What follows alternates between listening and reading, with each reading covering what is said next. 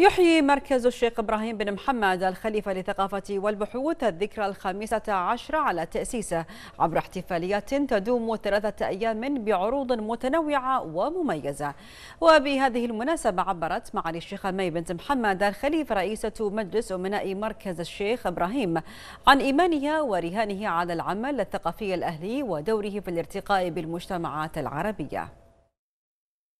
إيمانا بالفعل الثقافي وبدور المؤسسات الأهلية في الارتقاء بالمجتمعات والمساهمة في عملية الانفتاح الذي يتطلبه عالمنا العربي.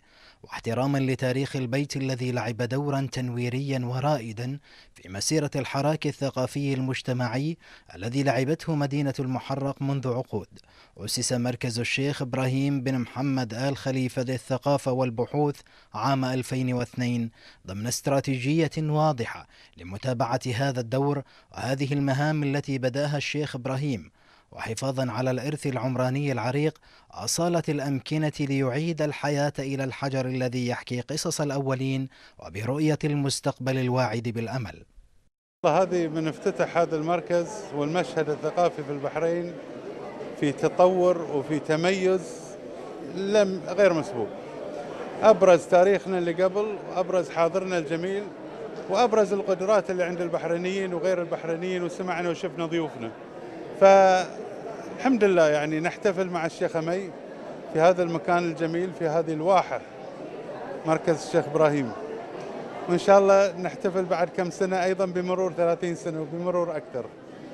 عبر 15 عاما من النشاط الثقافي تخللتها محاضرات ولقاءات شعرية وفنية وغيرها من الفعاليات الثقافية يدون مركز الشيخ إبراهيم في ذاكرته أكثر من 500 قامة فكرية ثقافية بارزة تواصل معها في خطواته التنويرية منذ العام 2002 ليقوم بدور معرفي وحضاري أعطى الصورة المشرقة والأمل بمجتمع عربي واعد تسوده قيم التعددية والانفتاح والاحترام للإرث الثقافي المادي وغير المادي لمجتمعاتنا الإنسانية.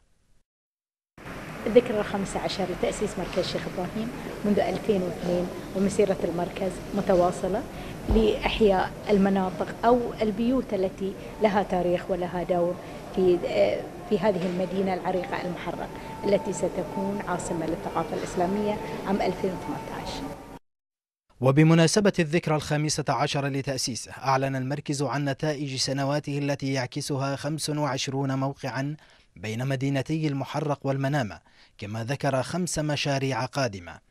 ونال المركز مقاما متألقا بإنجازاته نظير جهوده في الحفاظ على الهوية التراثية والعمرانية فقد حاز على جائزة الأمير سلطان بن سلمان للتراث العمراني للمهنيين والطلاب في دورتها الخامسة عام 2015 والحفاظ على التراث العمراني في المرتبة الأولى مناصفة مع مشروع القرية التاريخية نظير مشاريعه في إحياء منطقة المحرق القديمة والحفاظ على ملامح المعالم العمرانية كما حصد جوائز أخرى فريدة كجائزة المدن العربية في العام 2005 وجائزة الأمير فيصل بن فهد عام 2008 إلى جانب تدشين العديد من المراجع والدواوين والدراسات البحثية التي باتت ضرورية للمهتمين بالشأن الثقافي.